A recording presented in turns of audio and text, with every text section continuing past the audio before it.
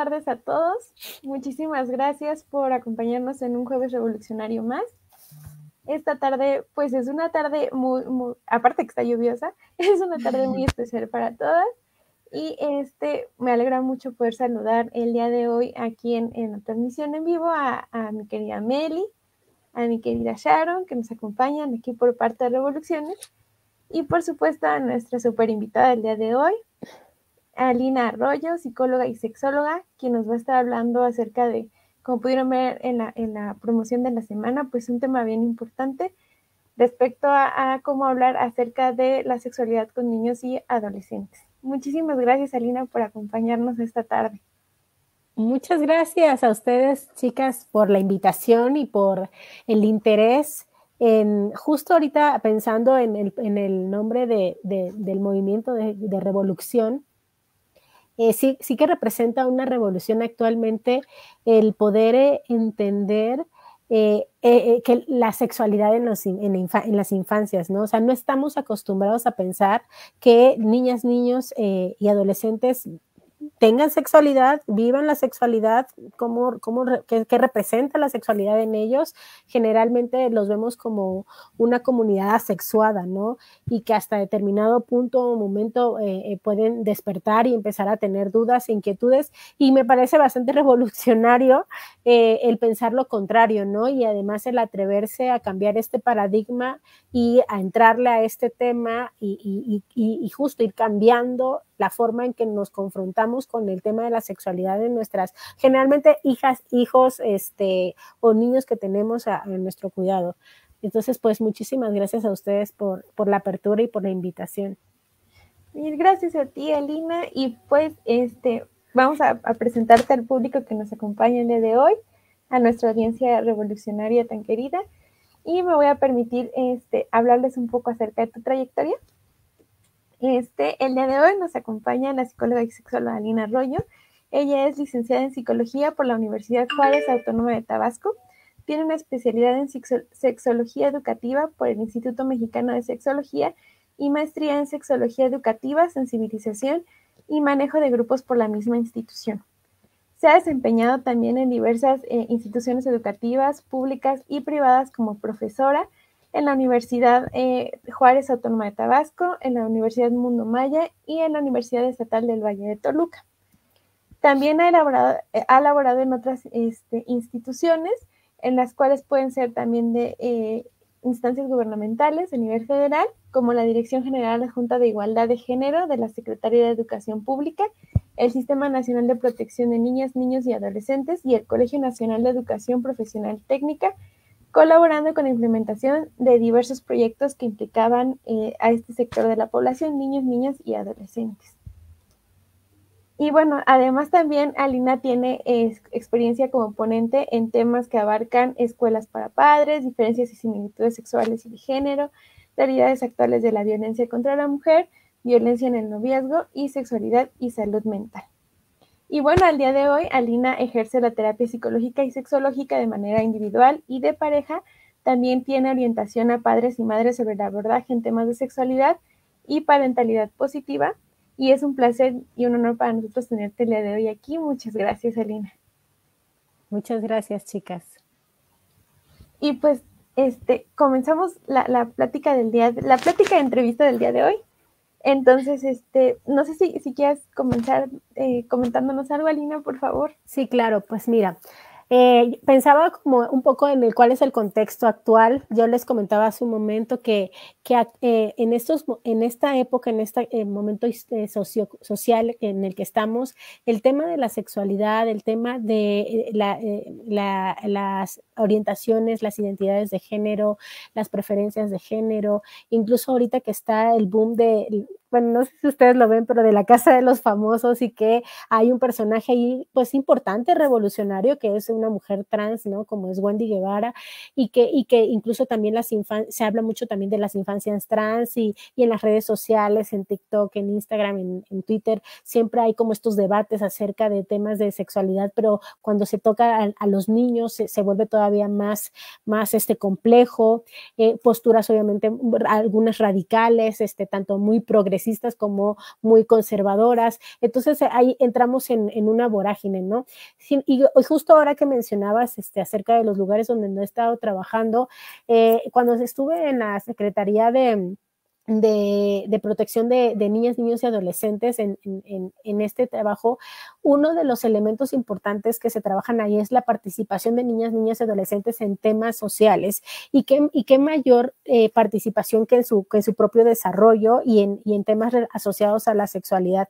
Entonces tendríamos que empezar a entrarle a este tema eh, justo como les comentaba, revolucionando el paradigma de y quitándonos la idea de que niñas, niños y adolescentes no, no tienen, no viven o no experimentan un desarrollo de la sexualidad.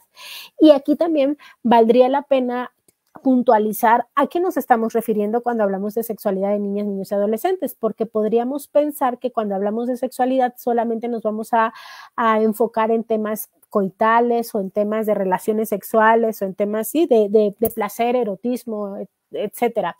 Y la realidad es que la sexualidad abarca todo lo que, lo que conforma al, al, al individuo, o sea, desde lo biológico, desde la anatomía, desde la química, la bioquímica, cómo funcionan las hormonas en nuestro cuerpo, cómo influyen en nuestro comportamiento, en cómo nos sentimos.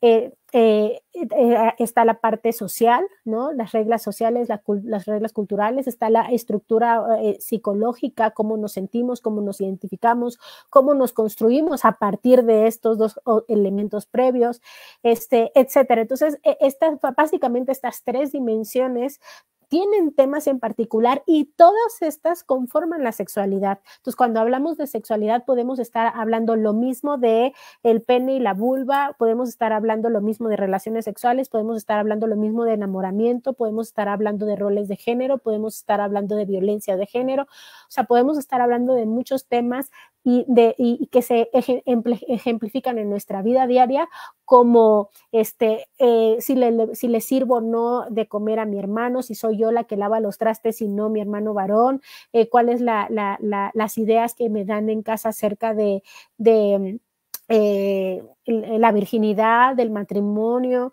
este, de los noviazgos, etcétera. O sea, todo eso es sexualidad. Entonces, sí, la sexualidad es bastante amplia y esta obviamente eh, se empieza a dar desde que nacemos, desde que, desde que, incluso desde antes, creo yo, pero desde que nacemos empezamos a, a estructurar ¿no? la, el desarrollo de nuestras niñas y niños simplemente desde si le ponemos rosa, si les ponemos azul, en función de si nacieron con pene y con vulva y si los designamos como niñas y como niños y en función de eso el rosa y el azul, este, y eh, que si el arete, que si, que el trato incluso, la suavidad. Eh, yo les comentaba que eh, como mamá de, de unos cuatitos, de unos mellizos, pero niña y niño, lo vivo todavía mucho más más al mismo tiempo, ¿sabes? Como más puntual, el a veces cacharme incluso este, siendo más suave con la niña y, un poquito más ruda o desenfadada con el niño. Yo digo, bueno, pero ¿por qué? Eh, y a veces rompiendo mis propios esquemas, los puedo vestir a los dos de azul sin problema, pero cuando los tengo, tengo que vestir a los dos de rosa, como que me quedo así como, mm". no, pues todavía me causa ahí como un, entonces, todas estas cosas finalmente son cosas que ellos van absorbiendo y van interiorizando aún que estén chiquititos. Este, justo también entender el desarrollo de las diferentes etapas y edades de, las niñas y los niños, como ahorita toda la, la, parte de la sexualidad de mis bebés está, por ejemplo, en función de la oralidad, ellos conocen el mundo a través de la boca, sus sensaciones placenteras o no también son a partir de lo que se llevan a la boca, de la succión, de, ya sea del pecho o del biberón, este, cómo, se, cómo se satisfacen sus necesidades básicas y eso también ya es sexualidad. Entonces, bueno, ir como entendiendo este, este tema. Y pues bueno, el hablar de la sexualidad de niñas, niños y adolescentes siempre va a confrontar a, las, a los padres, ¿no? A los cuidadores, a los adultos, porque los pone, eh, los, los confronta con sus propias experiencias, con sus propios conocimientos o su falta de conocimiento. A veces lo que les asusta es decir, no, no tengo ni información y la única información que tengo es lo que a mí, lo que yo he vivido, lo que no me dijeron, cómo yo me enteré de algunas cosas. y, y, cómo yo tengo miedos o no, o prejuicios o no acerca de lo que está sucediendo eh, y alrededor del tema de la sexualidad. Entonces, eh, en, ese, en ese sentido, la educación sexual no debería de ser una plática trascendente en un momento específico con el niño, en un momento determinado, ¿no? Sino una actitud constante de apertura y diálogo en un ambiente de confianza, en un, en un ambiente, en un contexto que le permita al niño sentirse tranquilo y con la libertad de preguntar y que su curiosidad va a ser satisfecha, ¿no? Y en esta información que nosotros eh, va a haber siempre como dos, dos, partes. La parte objetiva, que es este conocimiento duro, estos conceptos, este, esta teoría, esta, esta, sí, esta información más, más literal, pero también va a haber esta, esta transmisión de información subjetiva que tiene que ver con las ideas, con los prejuicios, con las emociones, con los sentimientos que nos producen hablar de estos temas. esto en conjunto o la omisión de esto ya es educación de la sexualidad para el menor, ya es información y entonces el niño se acostumbra a tocar o no ciertos temas. Es decir, si un niño de manera innata, no niño una niña de manera, de manera natural, siempre va a tener curiosidad. Y, no sé, a la edad de 3, 4 años o más adelante, 7, 8 años, siempre están preguntando. Y dentro de esas preguntas son, hay temas relacionados con las relaciones sexuales, con el género, con el erotismo, con con, muchas cosas. ellos van a preguntar y depende de nosotros, de la actitud que tengamos y del tipo de respuesta que demos, ellos pues se van a acostumbrar a indagar más con nosotros en un ambiente de confianza en donde son satisfechas, satisfechas sus, sus curiosidades o se van a acostumbrar a reprimirlo, pero además en un, en un entendido de que entonces este tema no, no está chido, no, está, no es bueno, es oscuro, es sucio, es y entonces van creciendo y van haciendo esa impronta acerca de la sexualidad y, entonces van cargándose más de prejuicios y de ideas ¿no? de morales y etcétera. Entonces, eh, pues bueno, creo que a grandes rasgos de, este, esto va un poco el tema. Perfecto, bien, bien importante y muchísimas ideas eh, que tenemos que resaltar de, esta introducción que nos haces, yo me quedo con, la idea de, la apertura, ¿no? Que tienen que tener los padres de, hablar con los niños, ¿no? De la importancia que tiene que desde chiquitos les enseñes a normalizar la sexualidad y su sexualidad, ¿no? Dentro de, su desarrollo personal e, es, un tema que, debe de ser algo que, no genere, ¿no? Esta, esta cuestión, como dices, de, de que vaya cargado de a lo mejor alguna cuestión pues moral, ¿no? Así que, que uno a veces se, generan como de estos temas, ¿no? Prejuicios y cuestiones de ese tipo. Y pues, este, afortunadamente, eh, el día de hoy tenemos a, audiencia que nos acompaña de, de, este, pues, diferentes lugares. Les agradecemos a todos su, presencia y les recordamos que le pueden dejar a Lina este, sus comentarios, sus preguntas aquí en, en, la, en la cajita de comentarios de Facebook. Y nosotros vamos a comenzar este, haciéndote algunas preguntas que tenemos preparadas para, para ir dando pie a la plática. Este, la primera de estas preguntas, Alina, es ¿cuáles son los riesgos que pueden estar implicados al no hablar sobre sexualidad con las niñas, los niños y los adolescentes? Muy claro, súper importante esto porque justo se, se, tiene, se pensaría que entre menor información más se aleja al niño de contaminarlo, de, eh, ¿cómo, ¿cómo, decir? Este, de pervertirlo, ¿sabes? De, de, de, de, darle información eh, que, que lo perturbe en su desarrollo, que le haga desear cosas antes de tiempo, etcétera. Pero justo ahí creo que está, hay dos cosas. Es, es como yo quiero evitar que mi hijo tenga deseo sexual antes del tiempo, pero porque pareciera que el deseo sexual es negativo, ¿no? Es como si fuera algo a lo que es como si dijéramos, este, solamente puedes tomar alcohol o, o, fumarte un cigarro cuando seas mayor de edad, pero en el entendido de que el cigarro es dañino, ¿no? Y el alcohol, pero bueno, cuando eres mayor de edad puedes o no acceder a esa parte oscura. Bueno, pareciera que la sexualidad la metemos en un cajón similar, como de algo eh, oscuro o sucio, en donde ya como adultos sí puedes o no acceder. Y justo lo que vamos a también tratar es de quitarle a la sexualidad todas estas, eh, eh, pues estos, estas cosas que la ensucian, ¿no? Estas ideas que la ensucian y ver a la sexualidad como una parte de desarrollo y, de, y, de, y que integra al ser humano, ¿no? El sentir placer a partir de mi cuerpo o a partir de fantasías, a partir de deseos, no está mal, ¿no? Entonces, e, eso como por un lado. Y por otro lado, claro que es importante porque el niño está sabe y está preparado para posibles abusos o, eh, sí, abusos sexuales o, violaciones, eh, abusos de, tipo sexual en general. Lo voy a poner como, lo voy a, no voy a especificar, pero bueno, en, en, general.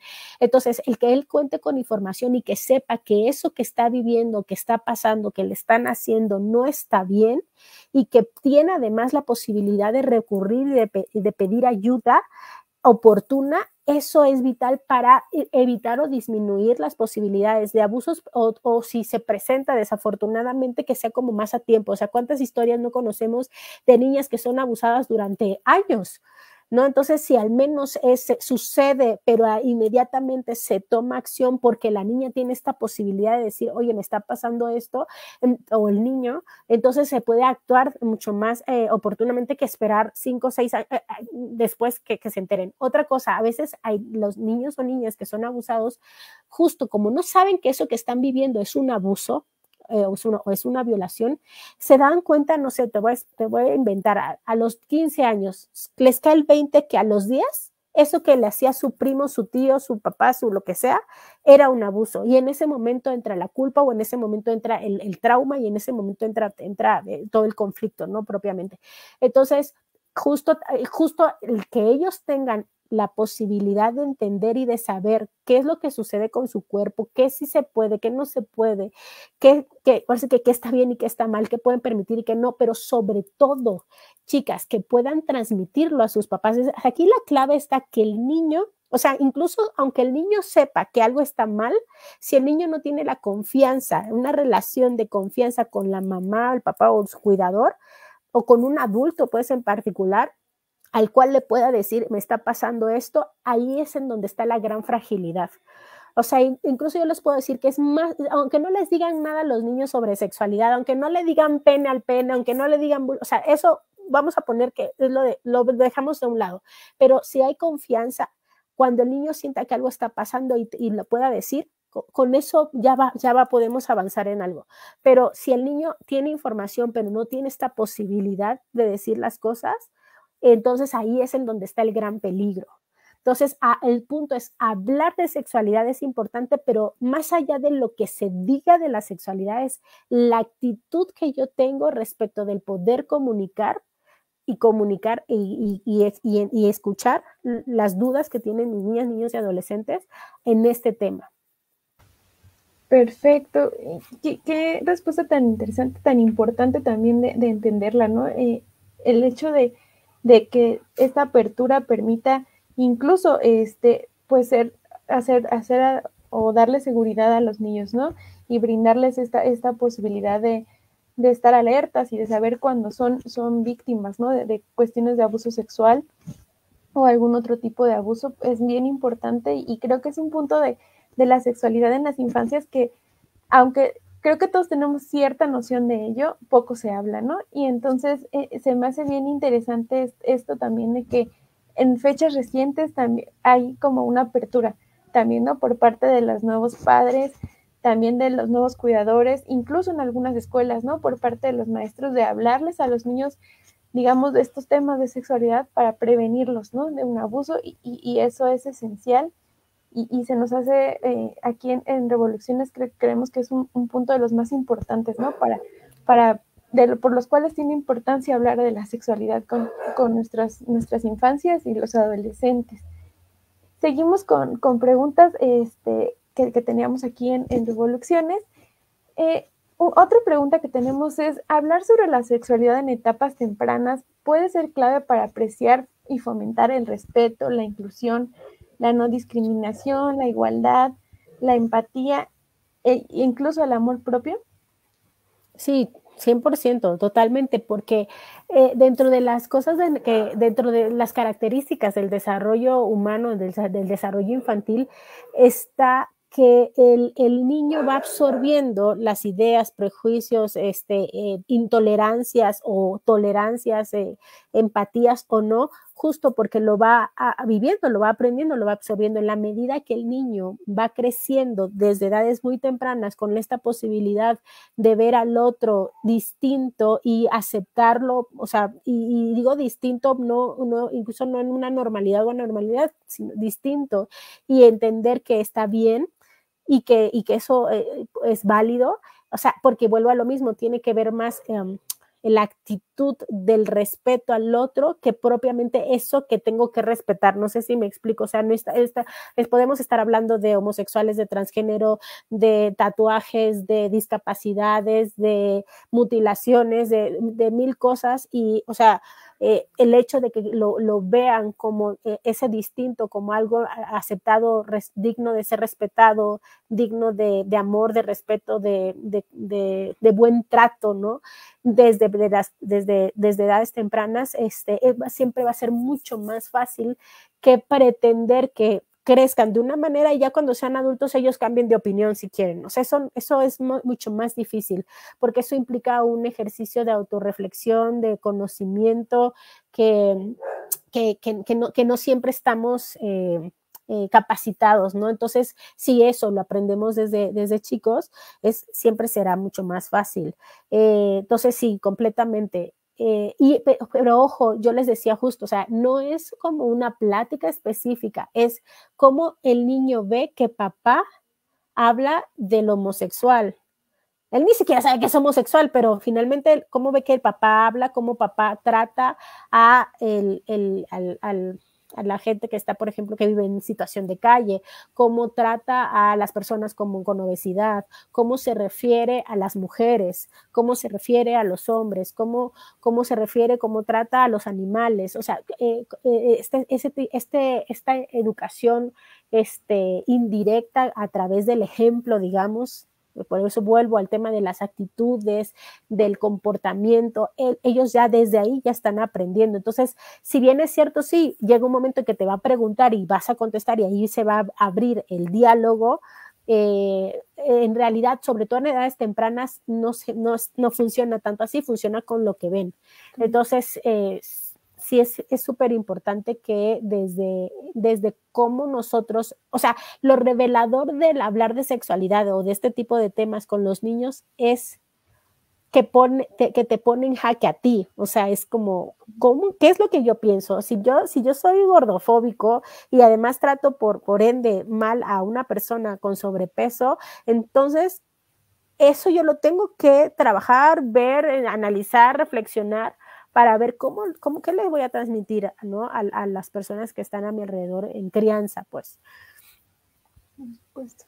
Sí, bien importante esto de, tal cual educar con el ejemplo, más cuando estamos, como dices, hablando de, niños pequeños, ¿no? Y, el, el, que los niños absorban y entiendan la realidad a través de la propia realidad de los papás, ¿no? Entonces, esto, esto de, de primero, como dices, ¿no? Primero ver qué es lo que traigo yo, ¿no? Y, y, ver lo que, cómo lo trabajo yo para transmitirle lo mejor posible, ¿no? A, a, los hijos o, a, o a, los, a los niños en los cuales estamos a cargo, ¿no? En caso de los tutores, para, para dar un buen ejemplo. Y, y digamos que, que, que, pues crezcan sin, sin tanto, sin prejuicios de ningún tipo, ¿no? Respecto a los temas, pero pues ojalá que, que esto, esto se vaya, o, o este tipo de nuevas crianzas, ¿no? También se, puede decir, se vayan pues fomentando en la población. Y ya, este, Sharon tenía, este... Hay unas preguntitas que nos han estado llegando por Facebook. Alma Martínez nos dice, hola, buenas tardes. Eh, creo que es interesante tema. Y ahorita vamos a poner las demás. Shine Sanata nos dice, buenas tardes chicas, qué tema tan interesante y de mucho tabú. Tengo una duda, ¿hay una edad recomendada para hablar de estos temas con las niñas, niños y adolescentes? Y otra cosa, Lina, ¿consideras que los padres deberían ponerse de acuerdo antes de hablar con sus hijos? Esto con intención de ponerse de acuerdo. Este sí, bueno, como les decía, más que una edad específica, no, es, es que desde que tu bebé nace ya está absorbiendo conocimiento científico, objetivo o subjetivo de la sexualidad. Entonces es más bien es cómo yo trabajo estos temas en mi día a día, o sea, cómo yo me planto, te digo, en mi rol de mujer, si soy feminista, si odio a los hombres, eh, o si a todo lo contrario, soy súper sumisa y tengo un rol tradicional, ambos, todo válido, o sea, o sea, o justo el saber cuál es mi postura, estoy a favor, estoy en contra, este, todo lo que tú vas transmitiendo desde que nacen ya es educación. Entonces, más bien es eso, estar atenta a eso. Luego, cuando los bebés van, es que mira, eh, los niños de hecho no van a llegar y te voy a hacer una pregunta sobre sexualidad y necesito que me contestes. O sea, no, o sea, te van a decir a, rajatabla, oye, ¿por qué Juanito vive con, tiene dos papás? O sea, él no sabe que está hablando de homosexualidad, ni de familia homoparental, ni, ni de discriminación. O sea, no, simplemente tiene, no entiende qué pasa que Juanito tiene dos papás o dos mamás. Entonces, desde ahí la forma en que lo abordes, la naturalidad, la confianza, el nerviosismo, ¿no? Eh, si, le contestas o, le, das la vuelta, él ya, ahí ya estás respondiendo, o sea, ahí ya, ya él ya tiene información. Entonces, más bien es, por eso te digo, cuestionar cuáles son mis posturas a ese tema y en función de eso poder eh, si yo tengo un prejuicio, insisto, intentar trabajarlo, intentar deshacerlo, ¿no? Entenderlo, eh, ¿no? Este, reflexionar qué es lo que me está pasando, pero paralela, paralelamente también es meterte eh, a, a, leer. Si bien es cierto, no siempre tienen que saber todo de sexualidad, pero bueno, en la actualidad la información está a borbotones. Entonces, lo de menos es googlear qué es la familia homoparental y entonces ya puedes tener una referencia que te ayude a dar una respuesta más científica, estés tú o no de acuerdo, ¿no? E incluso se lo puedes transmitir así, dependiendo obviamente de la edad, es como, mira, la, la familia homoparental es esto, sin embargo, a mí no me gusta tanto por esto, tú ya estás dando la información y además estás dando tu línea de valores. Y el niño ya va a poder ir cachando y entendiendo y eh, con base en eso también en algún momento ir discerniendo, ah, ok, a mi mamá no le gustaba ese rollo, pero como con los tatuajes. O sea, oye, mamá, ¿qué es un tatuaje? Ah, pues es cuando te pinta la piel y eso nunca se quita y a mí no me gusta.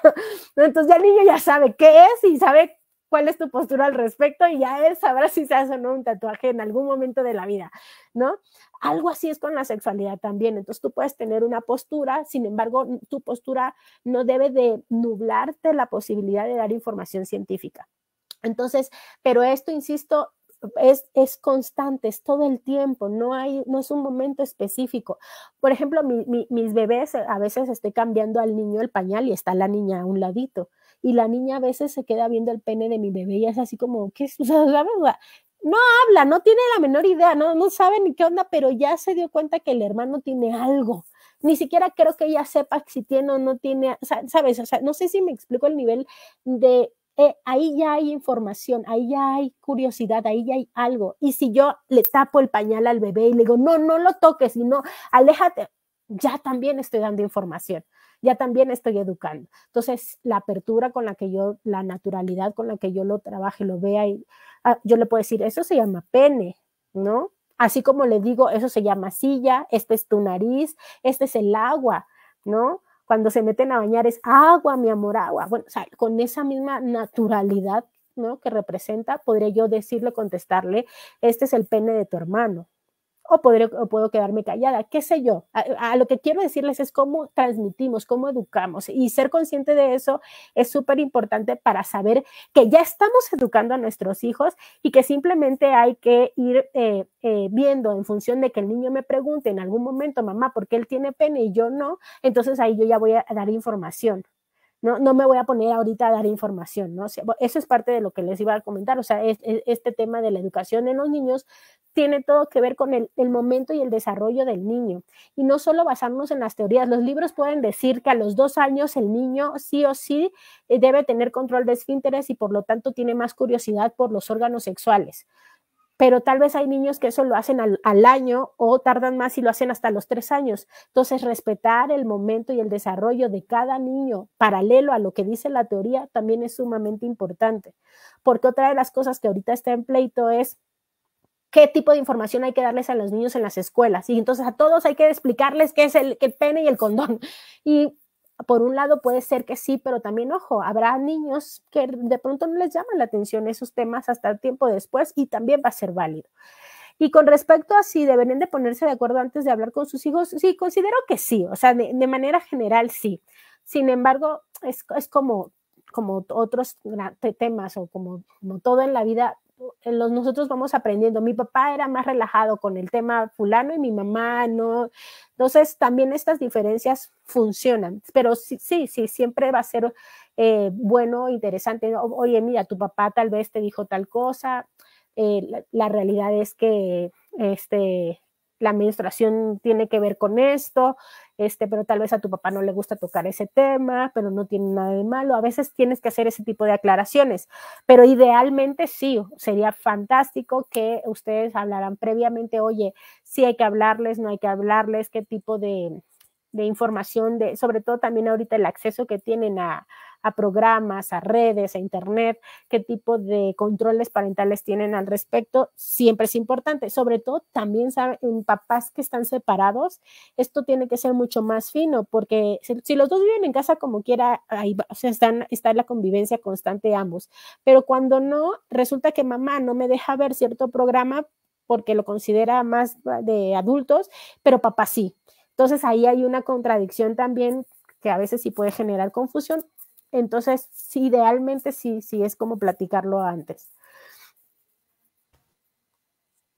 Muchas gracias, Alina. Muy importante esto de, la comunicación y más lo que mencionas de en padres separados, que a lo mejor el niño va a tener una actitud con uno y otra actitud con otro, que al final de cuentas no va a poder encontrar una identidad, ¿no? Nos llegan otras preguntas de Carla Costa. Nos dice, hola Lina, gracias por tocar estos temas. Mi pregunta es, ¿de qué manera podemos generar un ambiente de confianza con los niños y las niñas para que nos comenten si alguien está ejerciendo algún tipo de violencia sobre ellas y ellos? Sí, vuelvo y repito, principalmente es la actitud que tú tengas constantemente al respecto de, estos temas. O sea, y no, porque no solamente es avísame si alguien te está abusando, sino del tema en general, de, cómo, cómo es tu actitud hacia el cuerpo, hacia la desnudez, hacia, hacia, hacia los besos, hacia los abrazos, hacia las demostraciones de afecto, eh, etcétera. Entonces, en ese sentido, eh, eh, es, es, como la actitud, lo primero. Ahora, también es importante para que los niños tengan esta confianza de comentarle a alguien, también debe existir previamente como estas, insisto, estas pláticas o estas dinámicas en donde le enseñaste al niño previamente cuáles son las conductas públicas, cuándo son las, cuáles son las conductas privadas, les, le enseñas a, tu, a, tus, a tus hijas, hijos, que hay partes del cuerpo, hay zonas del cuerpo que nadie debe de tocar, por qué nadie las debe de tocar. les, les, explicas que, por ejemplo, sus, sus partes privadas están conectadas a su corazón. Eso, lo escuché con alguna colega y decía, entonces si alguien toca tus partes privadas puede lastimar tu corazón. Entonces no permitas que nadie toque tus partes privadas y si eso sucede, eh, puedes venir conmigo, yo estoy aquí para escucharte. Y, eh, y que cuando eso suceda no haya una una reacción violenta. Les comento, por ejemplo, una, experiencia que yo tuve, un ejemplo personal. Alguna vez vino una visita a casa y eh, una niña, no sé, no me recuerdo, no sé si nueve años, con un niño, ponle un poquito más grande, diez años, o la niña más chiquita, ocho, y el niño diez años. El punto es que estaban jugando y en algún momento nos damos cuenta que ambos se habían metido al baño. Este, entonces la mamá de la niña reaccionó súper violenta, así de que, ¿qué te pasa? ¿Por qué te metes? ¿Qué, ¿Qué haces ahí adentro? Y entonces al niño lo corrió de mi casa y entonces la niña se quedó súper asustada. Bueno, eso eso e, es parte de, o sea, por mucho que tú le digas a tu hija, cuéntame cuando algo suceda, si tú tienes ese tipo de comportamientos, cuando algo suceda, la niña va a tener un miedo feroz de, de decirte que algo pasó porque ya vio cómo te pones con respecto de esos temas. Entonces, es, es, es, sobre todo esta parte de la, te digo, de la actitud que uno tiene, de la naturalidad con la que puedas enfrentarte a situaciones de ese. Entonces, en lugar de gritar y de hacer eso, es como, que, o sea, sí que están haciendo, cuál era, cuál era su curiosidad, qué, qué, pensaban, y decirle, no, mira, cuando una persona va al baño, esta es una actividad privada, solamente entra esta persona, tú tienes que esperar afuera, y sí me explico cómo darle, darle, pues el deber ser, digamos, en ese sentido, de una manera que ellos entiendan que eso que estaban haciendo tiene que ver con una cuestión de intimidad y de invasión a una, a una actividad privada, ¿no? Entonces, tiene que ver con, eso en general. Entonces, eh, decirle al niño que puede contar contigo cuando algo le suceda, no va a ser suficiente si tu actitud respecto de estos temas siempre está enmarcada en, o en violencia o por el contrario, en, de eso no se habla, eh, no te contesto, insisto, me pongo súper nerviosa, y entonces el niño nota que ese es un tema escabroso y entonces obviamente eso le va a generar inseguridad y desconfianza para compartirte algo.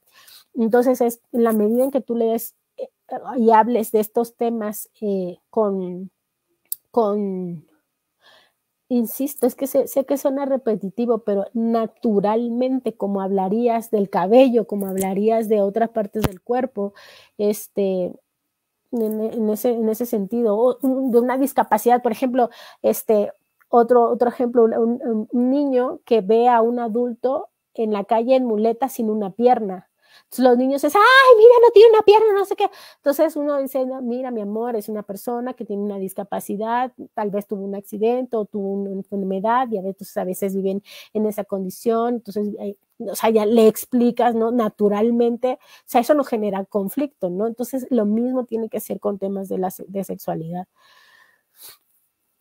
Gracias, Alina.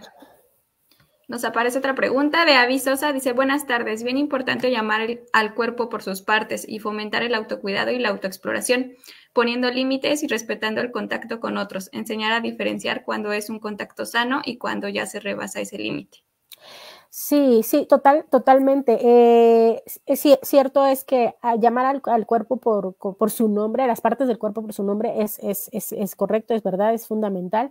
Este, siempre, a veces por nervios, por, por costumbre, este, le decimos al pene pilín, y, a la vagina, este, mi mamá me dice, ¿cómo me dice? Este, la cosa cuestión en Tabasco. la cosa cuestión, no sé qué, qué, por qué, pero bueno, así le dicen a la vagina. Este, y, y sí, o sea, genera ruido, ¿no? Este, entonces, o a veces queremos como sonar tiernos o qué sé yo, ¿no? Este, pero entonces no, o sea, lo normal es nariz, boca, pene, vulva, ¿no? Pecho, o sea, es la manera natural y correcta de, llamarle al cuerpo. Y eso da confianza, eso da seguridad al niño. O sea, el niño cuando se, sabe, pues, se conoce y sabe que tiene una mano y que tiene un pene y que tiene un pie, pues es, autoconocimiento, es seguridad, es confianza. Este, esta parte de fomentar el autocuidado y la autoexploración es súper importante, sobre todo la parte de la autoexploración, porque puede hacer muchísimo ruido que un niño se esté tocando. Incluso se puede hablar eh, en la teoría de masturbación infantil, ¿no? Que tiene que ver con toco, exploro mi cuerpo, pero además percibo que cuando lo hago tengo sensaciones placenteras y entonces lo repito. Entonces es una especie de masturbación y hay niños muy chiquitos que, que tienen este tipo de conductas y está perfectamente normal, pero ¿qué pasa? Que los adultos nos asustamos y los limitamos, los reprimimos, entonces el niño pues eso dice, no, pues ya no lo puedo hacer porque eso es malo, ¿no?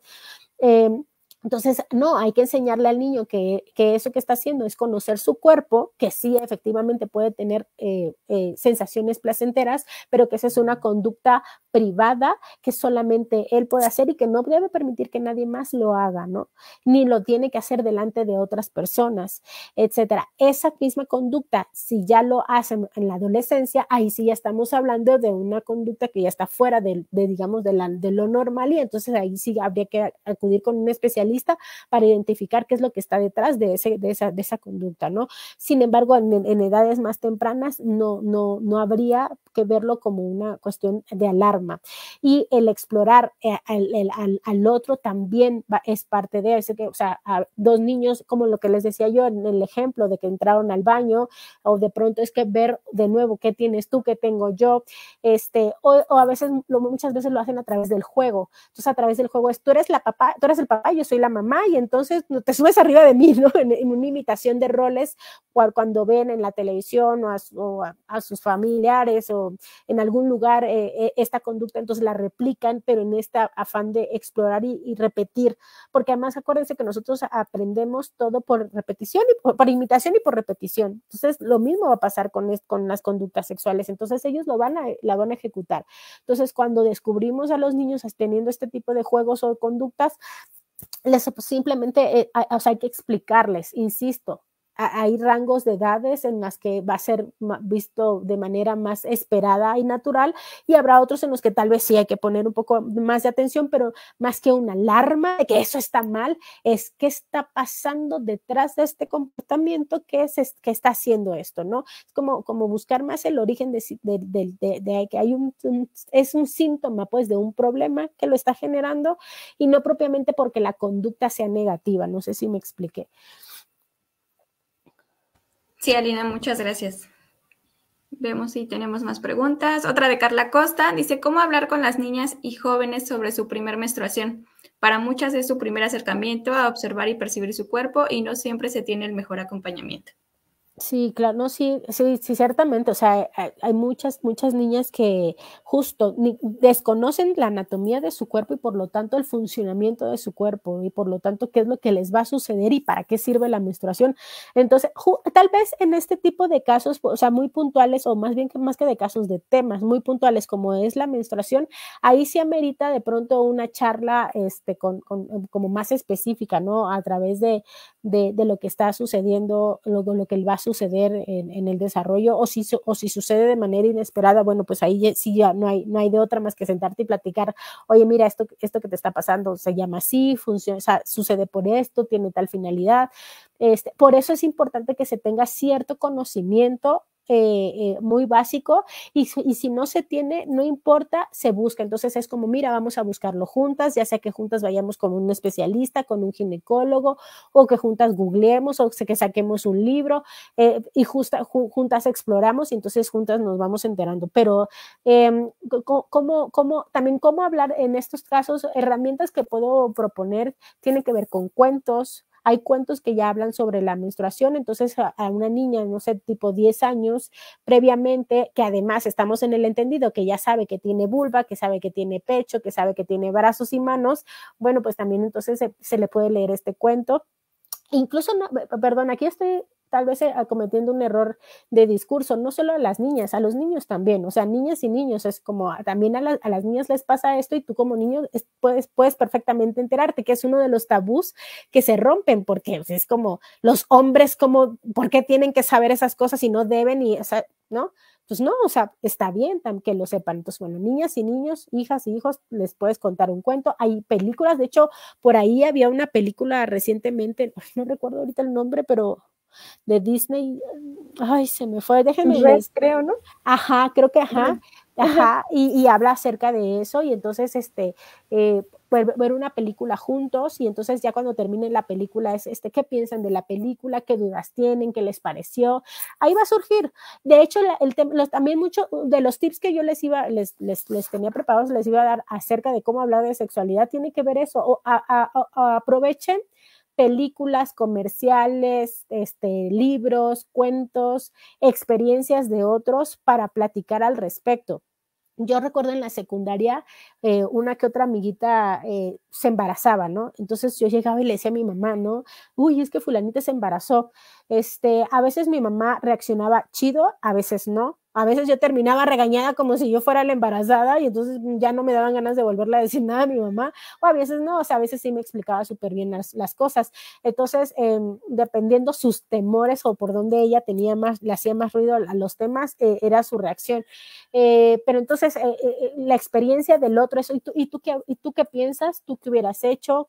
¿Qué hubieses hecho distinto? ¿Cómo te sentirías? ¿Cómo te sientes ahorita que hablamos de esto? Son tipos de preguntas que sirven para explorar eh, hablando de esto de las preguntas, cuando los niños preguntan, también es importante, depende siempre del, momento, de la edad, del desarrollo, pero sobre todo cuando son niños chiquitos, siempre es importante cuando hace la pregunta, más que contestar así a rajatabla, es por qué está preguntando, explorar cuál es la duda y de dónde viene esa duda. Al respecto, el chiste que siempre digo es el de, este, mamá, mamá, mamá, ¿qué es pene? Y entonces la mamá, pues mira, es el aparato reproductor y que el hombre y que no sé qué, y que las arañas, ¿por qué? Ah, es que mi abuelita dijo que estaba rezando para que el alma de mi abuelito no pene.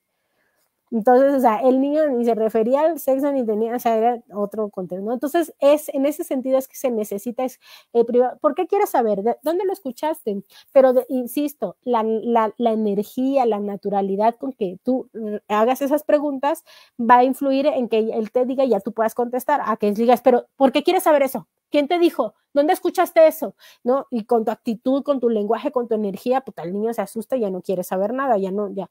Entonces, es tiene que ver con un feeling, con un autocontrol y un autoconocimiento importante para poder explorar y ya dar la respuesta correspondiente. Y además ser muy puntuales, o sea, si el niño quiere saber algo también, o sea, ser puntual y un poco incluso limitar, no, no extender tanto porque el niño de pronto con algo muy simple eh, va, a va, a quedar satisfecho. Eh, no es lo mismo explicarle cómo nacen los bebés a un niño de cuatro años que a un niño de siete años que a un niño de 12 años. Va, va a variar, obviamente la respuesta va, a haber mucho más información en la medida que el niño va teniendo mayor capacidad de comprensión e información. Entonces, pues a un niño de cinco años no es necesario decirle toda la retórica que le dirías a un niño de 12 años, ¿no? Muchísimas gracias, Alina. Ha sido muy enriquecedora todo, todo lo que nos has dicho y en muchas cosas yo remembrando ahí de las, de las cuestiones cómo fui educada ahí sexualmente, pues digo, creo que en ese momento requeríamos de esos tips todos para poder tener buena orientación, ¿no? Te voy a seguir leyendo algunos comentarios que creo pertinentes. Uno de ellos es de Celia Hernández, a quien saludamos también con mucho cariño, es fiel seguidor aquí de la página y nos dice, muy buena, interesante plática. No tengo niños, pero creo que las mamis modernas tienen guías para enseñar lo que a nosotros en su momento pues no tuvieron. Las felicito, revoluciones. Y aprovechando este comentario, me gustaría preguntarte si eh, existe algunas guías, algunos tips que tú nos puedas dar justamente para eh, tener una buena educación sexual. este sí. Sí, y, y Meli, antes de, de, contestar puntualmente, también quiero aprovechar esta, esta observación que hace Celia de no tengo niños, pero las mamis de tal. Eh, en realidad todos, todos somos comunidad y todos, ah, de alguna u otra manera, directa o indirectamente, criamos a los, a los niños y los niños de nuestra comunidad. Entonces, aunque tal vez directamente no somos mamás o papás, siempre hay niños a nuestro alrededor. Eh, digo, tal vez pues haya casos en los que no, pero generalmente. Entonces, la actitud, cómo nos comportamos, cómo nos dirigimos con esos niños de nuestro entorno, también, también impacta, también es importante. Este, y justo hacer esta conciencia de que, de que aunque yo no tenga hijos, sí los niños de comunidad también son mi responsabilidad. Muchas veces es como, pues no es mi hijo, no me meto, no es mi pedo, no me importa. Y creo que, que no, o sea, creo que sí debemos de también eh, empezar a tomar a los niños y a poner a los niños en el centro de, de, todo lo que, de nuestra experiencia, de nuestras decisiones.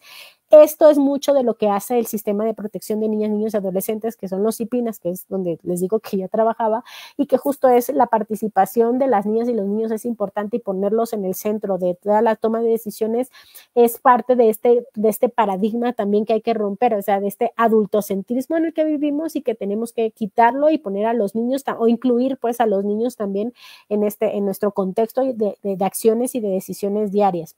Y ahora sí, contestando tu pregunta, Meli, pues por, ahí les dejaba yo eh, un par de, recomendaciones bibliográficas eh, de, uh, bueno, yo que sugiero siempre es este, eh, ay, espérenme. Uh, eh, yo siempre les sugiero eh, informarse, o sea, siempre va a ser bueno informarse.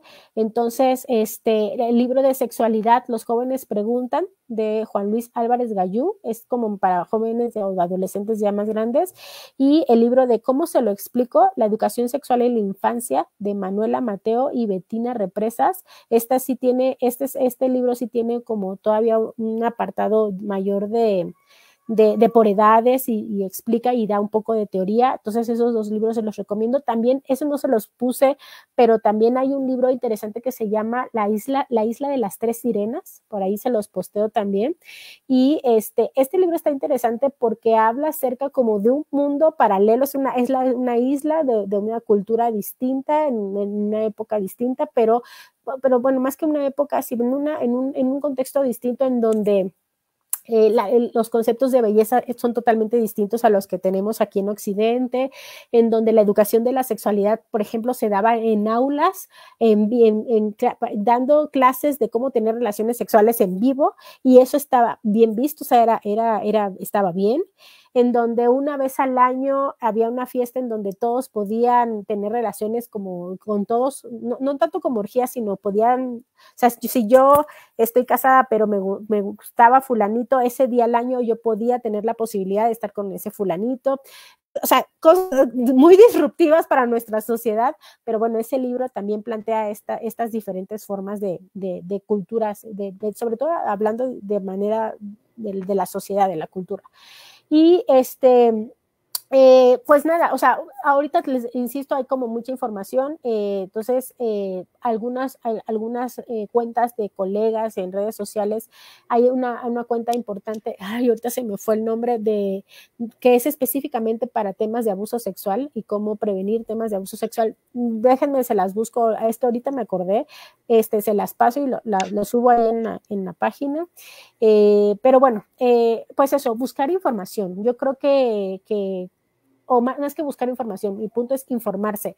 La otra, ah, buscan orientación, hay colegas sexólogos, eh, hay, o si son temas muy específicos de, temas de, por ejemplo, de métodos anticonceptivos, de embarazo, de reproducción, de, pues vayan con un ginecólogo, vayan con un urólogo, o sea, consulten a los especialistas, o sea, justo no, no tengan miedo y, no escatimen un poco y, y busquen a los especialistas yo me pongo a su disposición, yo les puedo orientar para, saber qué es lo que necesitan, con quién tienen que acudir, etcétera. Y, ah, y también quería rápido hacer un, un, paréntesis. Eh, en el caso de los adolescentes, cuando eh, en mi página yo suelo recibir eh, preguntas de adolescentes perdón, que es, eh, generalmente tienen que ver con, este, tuve relaciones sexuales con mi novio y no me ha bajado la regla, no sé si estoy embarazada, este, es que tuve relaciones y, pero nada más fue la puntita, pero entonces puedo quedar embarazada, este, tuve, o sea, es el pan de todos los días. Y a mí lo que me llama la atención de esto, de estas cuestiones, es que es que los chicos estén tan solos, o sea, justo que no tienen a quién recurrir y que buscan en cualquier página quien les dé información. Y digo, yo soy una persona sensata, íntegra, este, no sé, correcta, pero de pronto no sabemos con quiénes se pueden topar, ¿no? Entonces, eso es importante. Y justo dentro de la información que yo les puedo proporcionar, siempre, siempre les digo que busquen a ese adulto de confianza y que busquen asistir a esas este, eh, instituciones en donde les puedan ayudar. Entonces no dejemos solos a nuestros adolescentes también en, esta, en estas exploraciones, porque ellos tienen las experiencias, o sea, ellos las viven, que mejor vivirlas de manera informada. Ay, perdón, me dio una algo ahorita. Muchísimas gracias, Alina. Y aún más, ahorita con todo este apogeo de las redes sociales, o sea, podemos encontrar información por cualquier lado que nosotros busquemos, ¿no? Así eh, es.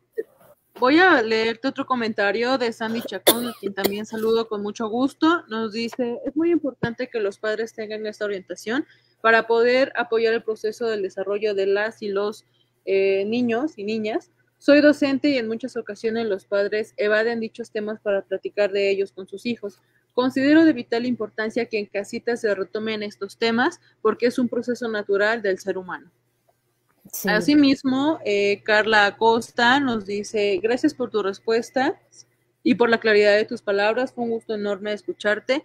Ojalá te tengamos nuevamente aquí para seguir platicando con estos temas y nos dejan tus redes sociales también, que nos, nos recuerda que eh, te sigamos en redes sociales, justo hacemos aquí, abrimos el, aquí el, el promocional, el corte comercial, justo para que sigan a Alina en sus redes sociales, en Facebook e Instagram, si ustedes requieren alguna asesoría, por supuesto, ella está en la mejor disposición de, de, de apoyarles.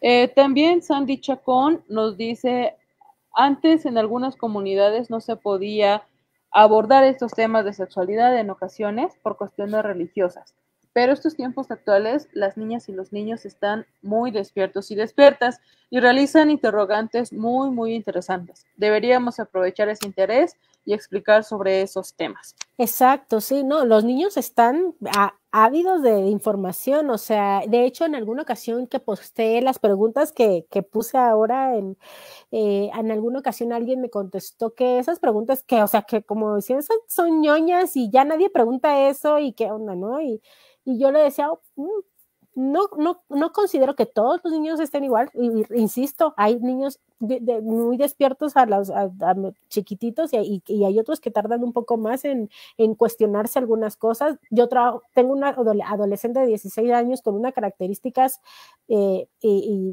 situaciones y otra totalmente distintas, que, que, parecen de dos edades distintas. Entonces, no, no necesariamente es así. La, y la otra es, yo, eh, cuando yo era Miss de orientación educativa en secundaria, una vez hice un ejercicio de que los niños me tenían que hacer cualquier pregunta que tuvieran respecto de la sexualidad anónima. Entonces, me metían en un botecito, entonces yo ya nada más iba sacando las preguntas y literal nunca supe quién preguntó qué, ¿no? O sea, hubiesen visto esas preguntas que, que de pronto entiendo, porque a mí me, me, llamaba la atención de qué es un beso, qué se siente besar, qué es el clítoris, qué es un orgasmo. O sea, los niños tienen esas interrogantes, o sea, ¿cómo sé que alguien me gusta?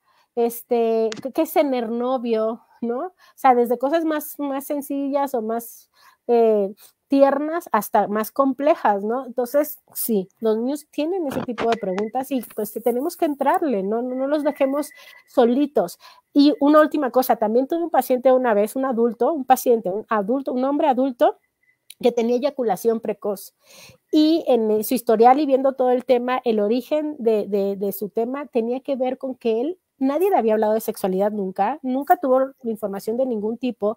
Él aprendió sobre la masturbación, él se masturbaba viendo pornografía, aprendió a masturbarse y todas sus eyaculaciones habían sido mediante esta vía, viendo pornografía y nunca había tenido relaciones sexuales con una mujer.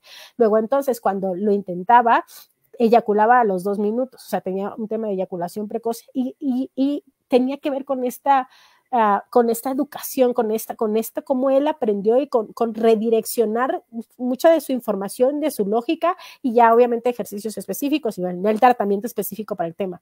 Pero ojo, o sea, cómo puede impactar el, el, que los dejemos solos para una sexualidad adulta plena, libre de, de incluso de disfunciones, ¿no? De, de enfermedades ya, ahí sí ya de reales, ¿no? Muchísimas gracias. Qué, impactante, qué impactante esta situación que nos acabas de comentar. Pero justo eh, Sharon planteaba aquí en el, en, el, en el chat la otra parte. Por ejemplo, ¿qué hacer cuando el niño, la niña o el adolescente no tiene eh, pues la disponibilidad, por así decirlo, para hablar sobre el tema? Y pues también obviamente te agradece. Sí, no, sí, o sea, eh, eh, eh, el dejar solos a los niños, niñas o adolescentes es durísimo. se quedan eso, desolados, este, solos, confundidos, equivocados, este, y justo hacen esto que les digo. Entonces busco en internet cualquier página donde medianamente hablen de sexualidad y, y y pregunto, exponiéndome en muchos casos, tal vez no sabiendo qué me van a contestar, etcétera. Este, eh, los, los, cuando no tienen esta posibilidad, los arriesgamos, o sea, tienen prácticas inseguras, eh, o por ejemplo, niñas que este, tienen relaciones sexuales y su método anticonceptivo es la pastilla de emergencia. O sea, ese es un método anticonceptivo físico, este, fijo. Entonces, en un año se toman, este, no sé, cuatro o cinco pastillas de emergencia. no saben la bomba de, hormonas y el daño que le están haciendo y el desajuste hormonal que puede tener implicaciones a largo plazo. entonces, esta, las repercusiones de dejarlos solos es súper es, dura. Entonces, de nuevo, es identificar a estos, tratar de identificar a estos, a estas niñas, estos niños, estos, bueno, en este caso son ya más adolescentes, este, eh, acercar, eh, bueno, aquí cuál es el tema, que como son menores de edad, si uno tiene también que ser cuidadoso a la hora de intentar proporcionar información, tenemos que cuidar las formas, el, el, fondo, tal vez hacerlo en un marco institucional, tal vez hablar con las psicólogas de las escuelas o las orientadoras de las escuelas, porque también hacerlo así nada más puede, obviamente es un arma de doble filo en donde hay que tener eh, cuidado de que no sea visto como perversión de menores y ya entrar en un tema ya legal. Entonces, ciertamente hay que tener cuidado, pero una vez que se detecte, es obviamente informar de manera institucional al padre de familia, bueno, a la maestra, a la directora, al padre de familia, acercar a la o sea, hacerlo vía institucional creo que es lo más adecuado para evitar situaciones de abuso y de, y pues justo también prevenir situaciones y malos entendidos. Entonces, hacerlo en un marco institucional puede ser una buena vía llevarlo con un especialista. O sea, si yo no de plano no tengo las herramientas, no, no, no tengo la capacidad o no sé qué hacer, llevarlo con, con un, orientador, una orientadora, puede ser una sexóloga, una psicóloga, una, una maestra que, que, esté formada o que, que, tenga la posibilidad y que y, y, y, y darles la información, ¿no? Este, y repito, lecturas, tal vez ahí déjenme pasar eh, vía, ustedes algún tipo de lecturas, pero ya es para, para los chavos, o sea, no para los papás, sino para los chavos. Eh, siempre la lectura ayuda muchísimo. De hecho, eh, por ejemplo, de manera personal, yo mucha de mi educación eh, con respecto a la sexualidad fue a través de, mi papá compró una enciclopedia que se llamaba Enciclopedia de la Vida Sexual y, venía por tomos, cada tomo era un grupo de edad de 2 a 3, de, perdón, de 3 a 4, de 5 a 6, de 7 a 8, una cosa así. Entonces, los primeros eran caricaturas, eh, ya después eran dibujitos, ya después eran fotos, entonces, y, te iban explicando todo. Entonces, el, el, también aportar un libro, o sea, también es decir, mira, aquí tienes este libro, léelo, con las dudas que tengas las platicamos. También eso puede funcionar mucho si hay mucha imposibilidad, ¿no? De, de poder dialogar, acercar lo más que se pueda la información. Muchas gracias, Alina. Nos pone Geo, muchas gracias por toda la información. Mariby pone muy interesante la información, muchas felicidades. Muchas gracias a ustedes. Muchas gracias, Alina. Creo que fue muy enriquecedora la, charla para todos, para los que no tenemos hijos, para los que sí tenemos hijos. Como dices, siempre estamos educando con sobrinos, primos, niños que tenemos al lado, adolescentes. Y bueno, no sé si quieras dejarnos un mensaje final eh, para toda la audiencia. Pues muchas gracias, muchas gracias por la, insisto, por la apertura, por la oportunidad, por el interés. Y pues también, sí, cerraría yo diciéndoles que eh, la sexualidad, eh, bueno, que existen los llamados derechos sexuales y reproductivos, ¿no? De niñas, niños y adolescentes. Es decir, estos temas también son un derecho de ellos, o sea, no es como un favor, no es, no es este, como que somos buena onda y ya nos vamos, no, o sea, es, es, es el derecho de ellos. También, este, ay, es que discúlpenme yo sé que debí eso más, pasárselos con antelación, pero ahorita me estoy acordando que existe la cartilla de los derechos sexuales y reproductivos en niñas, niños y adolescentes. Entonces, e, el hecho de que como adultos los conozcamos, pero que además los niños, niños y adolescentes conozcan que tienen derechos respecto de la sexualidad, este, es fundamental. Entonces, también el hecho de pasarle la, cartilla, eso está en internet, así lo ponen, cartilla de los derechos sexuales y reproductivos de niñas, niños y adolescentes, y, y ahí está, este, te los desglosan de hecho, creo que son 20 derechos específicamente en esa cartilla. Eh, y pues nada, este, demos, acerquémosle las herramientas que necesitan nuestras infancias y nuestras adolescencias y, y, perdámosle el miedo. O sea, justo, por ejemplo, a veces escucho mamás que dicen, este, o sea, yo no, o sea, el punto es, yo no quiero que mi hijo sea homosexual o no quiero darle a mi, la posibilidad a mi hijo, si le doy información de, de, las diferentes de las diferentes preferencias de género, porque ve si le gusta y entonces es homosexual.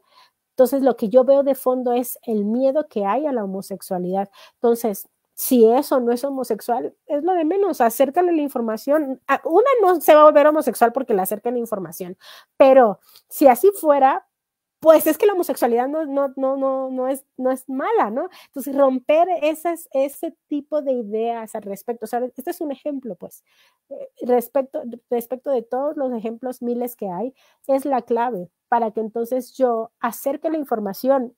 Los niños y las niñas se van a identificar de una u otra manera y van a tomar las decisiones. Es decir, ellos toman decisiones actualmente.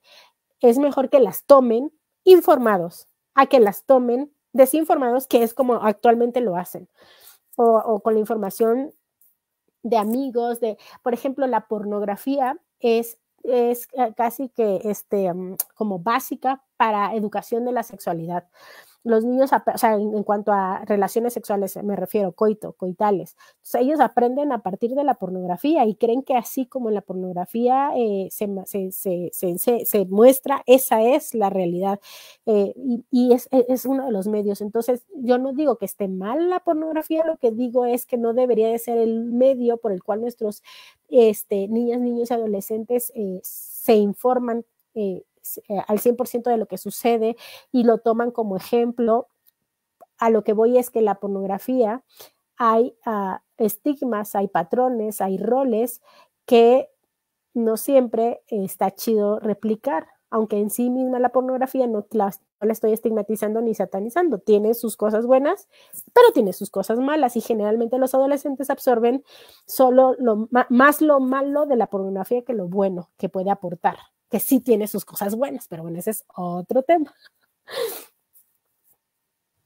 Muchas gracias, Alina. Creo que esta charla nos da para muchísimo más y abre muchísimas otras eh, incógnitas. ¿Nos podrías recordar, por favor, tus redes sociales, dónde podemos localizarte si tenemos algunas otras dudas o ya para una, un asesoramiento más específico? Sí, sí, claro. Me encuentran en Facebook, en Instagram como a Arroyo eh, Consultorio Virtual. Ahí está, ahí pues ahí vía mensajes y también eh, mi número de teléfono eh, del consultorio es 729 231 6880. Esto queda a sus órdenes. Este, ahí también podemos agendar y concertar este, las consultas, terapias, este, orientaciones, etcétera. Y pues chicas, de nuevo, muchísimas gracias. Eh, por ayudar a revolucionar nuestra sociedad, nuestro mundo, nuestro contexto actual. Esto es sumamente valioso este, y pues un placer haber estado con ustedes. Muchas, muchas gracias, Alina. No, el placer es de nosotros por eh, acercarte a nosotros, aceptar esta invitación. Aquí dejamos eh, tus redes sociales, tu teléfono, ahorita lo, lo, ponemos también. Ya está el número de teléfono para Alina. No sé si tengas algunos documentos o información que podamos nosotros eh, proporcionar y compartir en la página. Sí. Sí, ahora, ahora que les estoy diciendo así, este, se los paso y pues, sí, por supuesto, para que, para que lo podamos este, socializar. Perfecto, muchas gracias. Entonces, en cuanto lo recibamos, nosotros lo, lo publicamos. Vale, chicas. Muchas gracias a todos los que nos acompañaron, todas y todos quienes nos acompañaron. Gracias. Muchas gracias. Vamos a pasar el videito. Bueno, les recordamos que nos pueden seguir en todas nuestras redes sociales, Instagram, Facebook, Spotify, queda grabado todo también en YouTube. A partir de mañana pueden volver a, si no tuvieron tiempo de, ver la plática en vivo, pueden eh, reproducirla, esta y las anteriores. Y bueno, eh, aquí en la parte de arriba está el código QR para redireccionarlos a todas nuestras redes sociales. TikTok, eh, Facebook, Instagram, y también les recordamos de la próxima semana tenemos a Mariano Solís, que es embajador en Juve de 2030. Y eh, con la plática Juega, Aprende y Descubre. El jueves 3 de agosto a las 5 de la tarde, hora de la Ciudad de México. Aquí los esperamos. Muchas gracias por acompañarnos y pues que tengan, eh, que tengan una bonita tarde y gracias por acompañarnos este jueves revolucionario. Muchas gracias. Muchas gracias. Nos Buenas tardes a todos. Gracias, Alina. Muchas gracias, gracias Bye. Buenas tardes.